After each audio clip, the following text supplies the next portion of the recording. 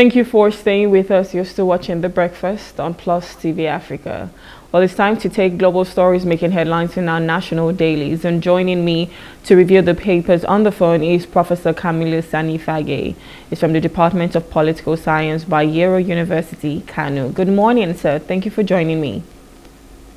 Thank you for having me. Good morning. I hope um, everything, I hope the weather is good where you are. It's been raining here in Lagos. I hope it's all right in Kano. Uh, here in Kano is, is very hot too. Oh, wow. Interesting. Okay. All right, let's get straight into the papers. We'll be starting with the Punch this morning. And the Punch leads with Lagos Calabar Highway. Telcos fear shutdown as construction threatens cables. And the writer here says undersea fire cables, fiber cables linking Europe to Nigeria pass through construction corridor, and that is by Alton and Atcon. Um, what do you think about this? Because I know there's been a lot of um, you know, construction going on with this whole thing. In fact, they've been demolishing buildings. A lot of the beaches that we have, the private beaches that we have in Lagos is, you know, cuts across this this highway that they said they want to build. And now it's not just the, the private beaches that are going down. Um, we're also seeing the telcos as well. They fear that there would be some shutdown as this construction um, threatens their cables, which pass um, you know, through this this undersea from Europe to Nigeria. What do you think about this? What does that? What would that mean for us? Because I remember one time, that was a few months ago, where um, I think here in Nigeria and in Ghana, we also had um, some something like this where the cables, something had happened to it and there was no network for a while. People could not connect. Um, there was just a lot. So what do you think about this? If this construction might just affect the, the, the, the cables that the telcos are talking about? Uh, in some places. So uh, the, the best way in any public policy is uh, for the leaders to sit down and assess the possible impact of uh, uh, the policy they are about to embark. Uh, I think this is, it seems to be there is no much consultation with stakeholders, and the job seems to be much in a hurry.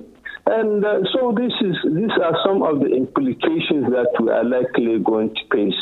And uh, you know, it is going to cost the country a lot of money. Uh, already the exercise has been started or the project has been started with demolition here and there. And now there are other things that are coming which uh, will have implications financially and in terms of uh, security, social impact, and so on. So I think it is high time now uh, for the leaders to, to sit down and see how they can address these issues so that they do not become very costly uh, for the country. So with this right now, do you think that the pros outweigh the cons? Or the cons outweigh the pros because, I mean, there's going to be de demolition of buildings. A lot of businesses that are on that stretch, um, known as the private beaches that we have, are being affected. Now we're seeing that, you know, the underwater cables, the undersea cables might also be affected. So what do you think about the impact of this? Do you think there's more, more cons than pros? Because I mean, if you're going to look at anything, any, you know, project that you want to have, you have to look at the pros and the cons and say, okay, how does this benefit us? Um, what we have to lose, is it more than what we're benefiting with this? So what do you think about this project as a whole? I know that there are so many roads in Nigeria that even need maintenance. Talk more about having a new one. I mean, it's a good development. In fact, um, the, the, people have come out to say, okay, it would bring, you know, more um, benefit to the economy. But what do you think about this? Do you think it's going to be beneficial to the people and the sacrifice of, you know, all of these buildings that have to be gone, the possibility of the undersea cable being affected? Is it enough sacrifice for what we are going to benefit with this highway? You see, we have to go beyond the mere impact of, you know, demolishing uh, buildings and uh, structures here and there. Uh, we have to put it in a wider context. That is why I'm, I say that there is need to have a possible policy impact assessment of the whole project. Because by the time now you touch on these structures, uh, it will also have negative effect on foreign investment because you see uh, it will definitely affect the uh, investment of uh, certain foreign powers who invest. Now, if they are not secure, they are not sure about the stability of uh, uh, their own investment, they will not come. Uh, some who are already here will leave the country. So you have to look at what are the implications. That is why I said now that uh, since money has been sunk on uh, the project, we have started it, there is a way uh, by which uh, the government will now sit down, stop the project for a little while, study it and see how they can modify it in such a way that they can minimize the costs and the implication of it.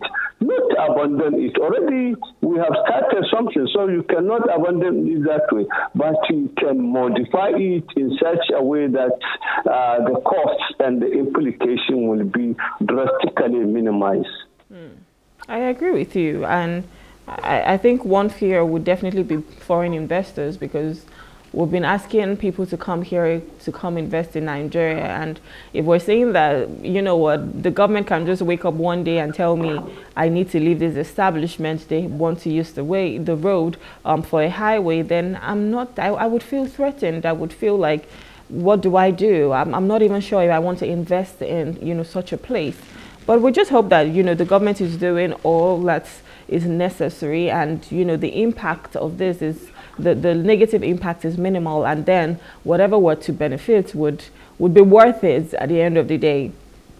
All right so moving over to um, another um, story here. It says uh, on the on the top corner it says Tinubu to get ministers quarter one assessment report. So my question to you is, what do you think this report is going to be about? And if you were to grade, you know, the ministers on how they've done in this first quarter, I mean, we've seen um, we've seen how the FX went up to almost 1,900 or 2,000 even. Um, there's been fuel scarcity. The electricity tariff, you know, went up with over 300 percent. So if you were to rate the government and what they've done, I know this is um, the report, assessment report for the ministers, but if you ju were just to grade the government on what they've done in the past, um, you know, in the first quarter of the year, how would you grade them? Assessment like that is good, uh, by which uh, leaders should be accountable. Uh, you know, there should be transparency in terms of what they do. But uh, given the reality on the ground, uh, what we are likely going to see is a huge propaganda. You know, I don't think there will be any minister or any head of any parastatal that will come out and need, give a negative uh, report on his performance or her performance. And uh, but the reality is that uh, the policies so far have been counterproductive in terms of, uh, you know, raising hyperinflation, in terms of raising poverty, in terms of uh, making the, the, living standard uh, of the ordinary Nigerian very high, uh, you know, I mean, very low, you know, putting all these things. But what we are likely going to see is the usual thing. Uh, they will come out and give uh, rosy pictures about what they have done so far, and uh, then they will appeal uh, to people to sacrifice that uh, they, there is a light at the end of the tunnel. So this, I think, is likely what we are going to see throughout. you know, which is highly undemocratic, which is highly, you know, a state of denial, we tend to deny the reality. And by the time you keep on denying the reality, you are not taking appropriate measures to address it. Mm -hmm. well, I mean, for me, I, I, I, don't know where you have to grade yourself. I mean, if you're going to have an assessment report, I think it should be other people assessing you. Um, if you're going to take an establishment, for instance, the HR would definitely send you an assessment report, um, not you having to grade yourself. But my question to you was, if you were to grade them or if you were to say this is how well the government has done for this first quarter of the year, what would your own score be? You see, I, I, will score them as a failure because my position is that uh, the essence of government is to improve the welfare of the people. And by any yardstick that you take, uh, the welfare of people, Nigerians have gone down. So I think I will grade them uh, very, very low. In fact, I will grade them a failure uh, in the quarter, in, the, in this quarter, because what we see is the, the downtown of uh, the living standard of people, and secondly, we see policies that are haphazard. Today we say we are going to do this, uh, tomorrow we change it. So these are all things which indicate that uh, actually they haven't performed. They have performed in far, far, far below uh, the expectations of Nigerians. Mm. Well, we hope that, you know, uh, the, there's really some light at the end of the tunnel. I mean, they've told us to sacrifice. We've not seen them sacrifice so much themselves, but we just hope that they're doing whatever it is in their power to ensure that um, we have a better standard of living. We are just better people. We have all everything that we need. So from the good infrastructure, maybe with the highway that they're trying to construct now, to quality education, to healthcare, everything that is needed. So we hope that they take the welfare of Nigerians seriously. I don't know how I would grade them personally, but we just want them to do more. Right, so there's another headline here. It says Dangote, Unilever, five others caught 1,281 jobs in one year. So now we're seeing job cuts in Nigeria. In fact, first, they tell you there is no money anywhere. Um, there are no, there are not enough jobs, but then even with the jobs that are not enough, there's still cuts as well. What do you think about this and what does this mean for the Nigerian people? You see, this, this is part of the resultant effect of uh, hyperinflation, uh, which we create on ourselves. So it's a self-inflicted wound.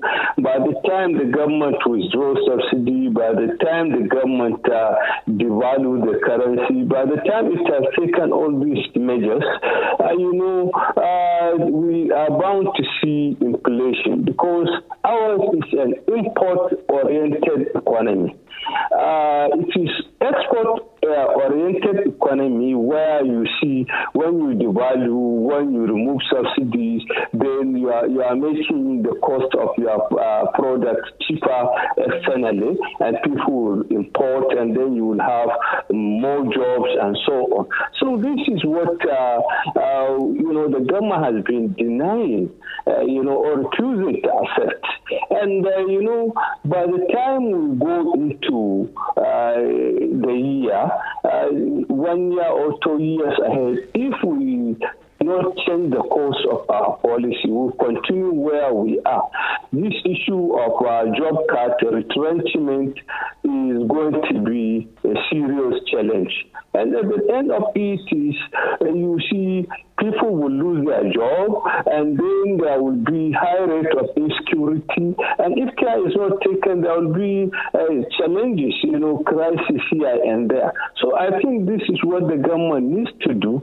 That we have taken so far almost one year, and uh, this is where we are going. So public policy means you sit down and assess. Now, this is where we want to go. What are the challenges uh, on our way, and uh, what are the implications? So, what appropriate actions are we going to take? One of the actions is either to abandon the policy or to modify it in such a way that it will address these challenges. So I think what we are seeing now with Dangote, I don't want to be a prophet of doom, but uh, we may see more of it both in the public and private sector. Mm-hmm. That is quite alarming, and we hope that doesn't happen because I know something um, people say is why there's, you know, terrorism, um, why people are going into illegal means is because you know there's there's not enough jobs. People are idle and they have to put food on their table, whichever way. So we hope that you know they have more jobs for people. In fact, more investors come in, and then we can you know have more jobs creation, and that way people are busy. People can now put food on the tables. All right, let's just move over to the Guardian quickly. Now, there's a small headline here that says untenable fuel scarcity amid deregulation. And then another one that says lingering fuel crisis, worsening capacity, utilization, productivity, says NECA.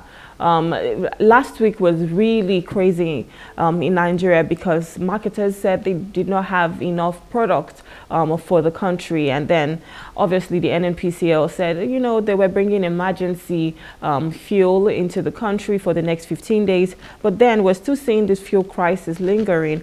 And now NECA is saying, you know, it's worsening capacity, utilization and productivity. What do you think about this and how is it even in your own um, location over there? Yeah, you see, in my own location, um, the filling stations are sailing. Uh, you know, the, the oil at uh, somewhere 1,100 or 1,200. So, I mean, the cheapest would be 1,000 uh, naira per liter. Even myself yesterday, I had to queue and go to uh, the cheapest that I can get was 1,000 naira per liter. So I think you see, this this is one of the problem that we are having. Uh, you know, uh, the, the whole thing is there is this scarcity and uh, it is very expensive, and uh, at the end of it, we just are tired of blame game. NNPC will say it is the marketers, the marketers will say this one, and we don't see it on ground. So, and uh, by the time you keep on having these things, uh, the already hyperinflation will, you know, uh, be super hyperinflation because already people have raised their prices, transportation, and yeah. other things. And one problem with Nigeria is that once things go up, they hardly come down. Even if they come down, it is going to be a very negligible percentage of the thing. Okay, so I think uh, uh, this is a, a, very challenging thing that we, we are. We are in a very critical situation. Uh, after all, uh, the, the, the uh, you know, uh, money, people's capacity has have not been increased, and uh, saying there is this inflation. So I think it's a very serious uh, uh, economic and social problem that we are facing now. Mm.